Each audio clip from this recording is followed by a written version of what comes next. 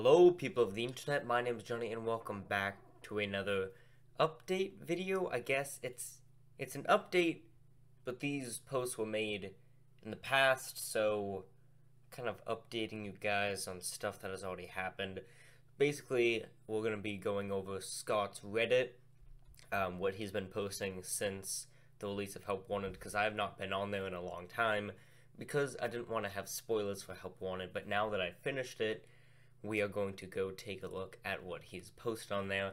And I have read all of them, and they are pretty, um, they're pretty interesting and explain why stuff like Showtime is not in the game, why stuff like the button at the bottom of the exotic butters basket doesn't work.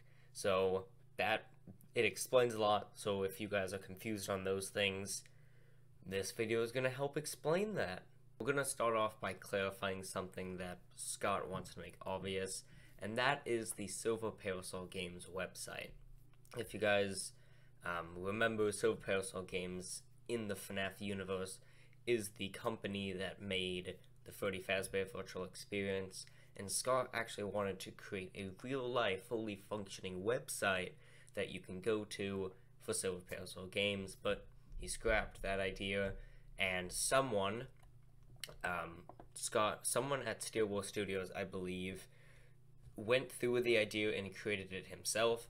So someone posted spoilers. I found one result on Google for Silver Parasol Games. The link has been deleted, but Scott has remained.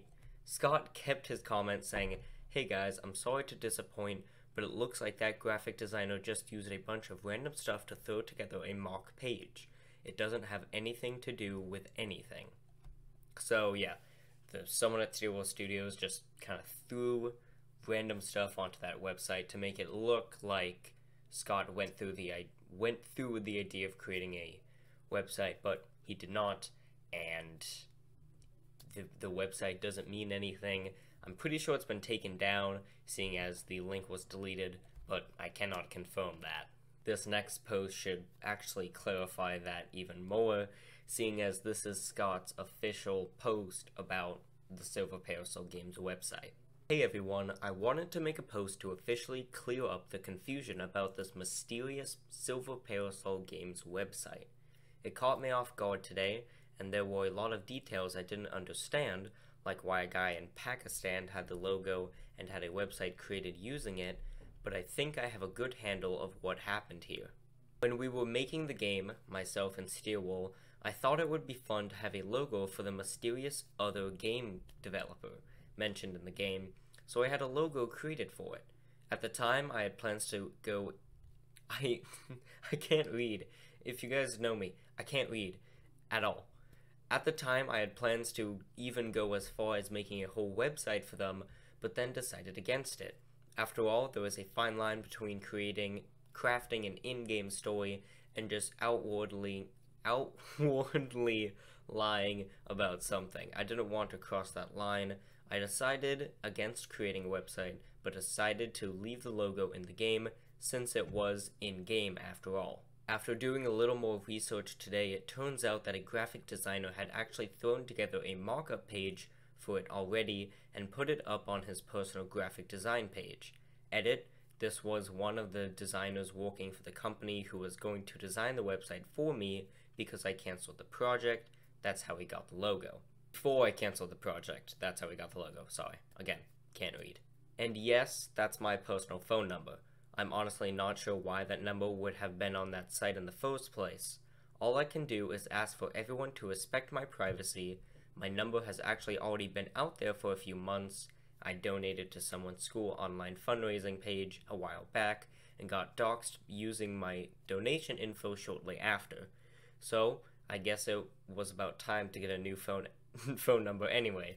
Until then, just be aware I won't be answering any calls from unknown numbers. Now I, like I said, have not been on Reddit, so I had no clue that this even happened in the first place. So, um, but Scott's edit afterwards, edit too. I want to call attention to the fact that ever since I made this post several hours ago, I haven't received a single new phone call other than a few numbers who kept calling over and over, and I had to block. That's a real testament to this community. I've been really amazed by it. I'll obviously still be changing my number in the morning, but you all but you have all really impressed me today. I wanted to make sure I said that. Thank you. That is just absolutely incredible. The fact that and you guys can see this but it's off screen, the Five Nights at Freddy's Reddit has 63.1 thousand members in it, and the majority of them, a huge majority of them, did not call Scott and respected his privacy. Like Scott said, that is incredible. That just proves that this community is so good and so nice to Scott for what he's done for us. It's just, it's crazy. Someone then made a post saying that the animations in this game are probably some of the absolute best in the entire series, and they provided two animations of Glitchtrap reaching out his arm in one of the endings and then shushing the player when he's behind the door in the secret ending. Scott then replied with, definitely the best in the series. I did the best I could while it was up to me, but I can't compete with the guys over at Steel Wool. Those guys are top shelf. It's the difference between a hobbyist and a professional. And I will agree, these animations are freaking awesome. Animations, textures, the models, they are just amazing. And the fact that they're all in a VR game is just unbelievable. Steel Wool and Scott did an amazing job with this game. Man Man Boy with two eyes made a post saying FNAF VR is pretty cool. Also, here's a house I made for Chica made out of exotic butters. I have no words. We, this is the fine art. I don't know what accent that was. But yeah, this is obviously a joke post, but Scott actually did reply to it with a funny remark. Scott replied with, Finally, someone has realized the full potential of this game as well as the full potential within themselves, which is just too good. It's too good.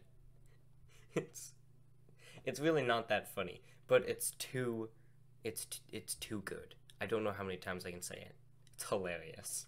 And of course, no FNAF game is without its awesome fan art. We have two here, one by Turntail, the one you're seeing now, Scott replied with, I had to take a second look at this because it almost looks like an actual suit. Leave it to this fanbase to take something creepy and find a way to make it creepier. Turntail then replied with, Oh wow, thanks Scott, and thank you for yet another game full of new content to draw. And then another fan art made by Games Production, the one you are seeing right now. And Scott replied saying, like I said in the comments of another picture a minute ago, Leave it to this fanbase to take something creepy and make it creepier. This is horrifying. Games production then replying with, OMG man, you're here. I have no words, LMAO. Thanks a lot. It's always great to see Scott engaging with the fan base and all the stuff that they're making with the models and all the stuff that they're drawing. It's just it's really nice to see that he cares about the fans and that he just he loves the community so much, and I think that really shows when stuff like this happens, which is it, it's so nice to see. Honestly, it's really nice.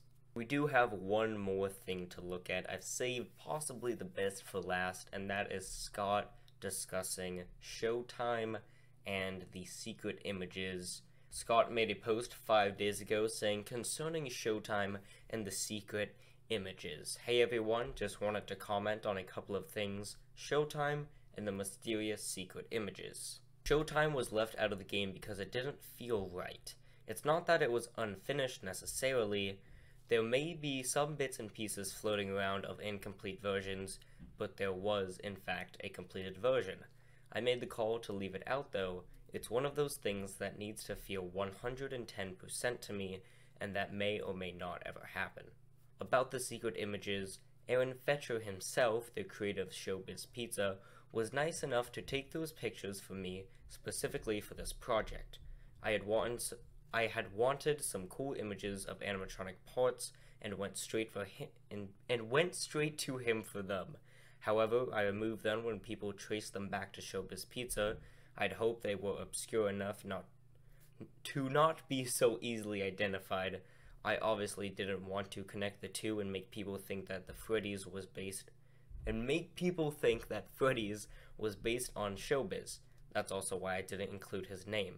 I loved Showbiz Pizza, and Aaron Fechter has been terrific every time I've gotten to talk to him. I just didn't want to send any negative negative attention his way, so I deleted the pictures. I hope that clears things up. So the secret images would appear on the monitor near the prize counter when you hit the button at the bottom of the exotic butters basket, but now you may know that when you do hit the button in the current build of the game, nothing happens and the monitor just flashes. And I'm sure that's going to stay that way for the rest of the game. I'm sure uh, there's two possibilities right now. Possibility one, it stays like that and the screen just flashes, or possibility two, they end up removing it and there's no button, and they may even remove the monitor, but it does add a bit of atmosphere. I don't think that they'll be adding the secret images back in, and if they were to add something to the monitor, I'm sure it would just be like some behind the scenes of Help Wanted, kind of like what we see during the anniversary um, of FNAF on ScottGames.com. Sometimes Scott releases some behind the scenes images of him making FNAF, which was always cool to see. If they would add more things to the game and they wanted to do something with the monitor, I'm sure it would be something like that. But right now, I don't think that they're going to do anything with it. Showtime was also a big concern for everyone because everyone was super, super excited, and then the game came out, and the Showtime button did absolutely nothing. Even when you completed the entire game, got all the endings, got all the achievements, everything in the prize counter, all of that stuff, the Showtime button still did not activate. And based on Scott's post, I don't think we will ever be seeing a Showtime in the game at all. If he were to add in the the Showtime, I'm sure he would just have the animations of the characters moving around, Foxy, Bonnie, Chica, Freddy, all those people just moving around on the stage because they are on the stage. If you have enough room in your room, you can actually walk all the way over behind the stage curtain and you can see Foxy Bonnie and Freddy just hanging out on stage waiting for the Showtime button to be pressed. So obviously, the Showtime was removed pretty late um, in the development of the game, and you can still find the animations of the characters and the music and their voices all in the gameplay files of the game, which I will play for you guys shortly. But for right now, I don't think Scott is going to do anything with Showtime. At the very least, he has other intentions for the button, as mentioned in this post. Someone commented saying, Thank you for clarifying this, Scott. If I may ask if it was removed, why was the button kept? Scott replied saying, Might use the button for something else in the future, winky face. And we all know how Scott is with his winky faces. So at this moment in time, I don't think Showtime will ever happen, and honestly, I'm fine with that. I, I would have loved to see the characters at the very least moving around, maybe some background music. I honestly don't care if none of the characters have voices. I just really wanted to see them perform. So there, there goes my wish out the window, the, window, the window, but I'm fine with that. Though there are videos out there of the characters performing, and I'm going to show that to you guys right now. So thank everyone so much for watching, and enjoy what would be showtime. Hello, everybody. You ready to have a good time? I know I am. Cause it's Freddy Fazbear's Pizza. For kids, it's number one. Fazbear's where fantasy fun. Fun not actually guaranteed. Well, let's meet the band. My name is Freddy, I'm the singer in the band. Got a hat and a big bow tie. Oh, I'm a big brown bear, but don't be scared. I'm a real fun loving guy. Bonnie's my name, I'm hopping along with floppy ears and a cottontail. My guitar is blazing, this rabbit's hair raising. Just listen to me wail. Take it, Bonnie! Freddy Fazbear's Pizza. Get your pizza by the pound.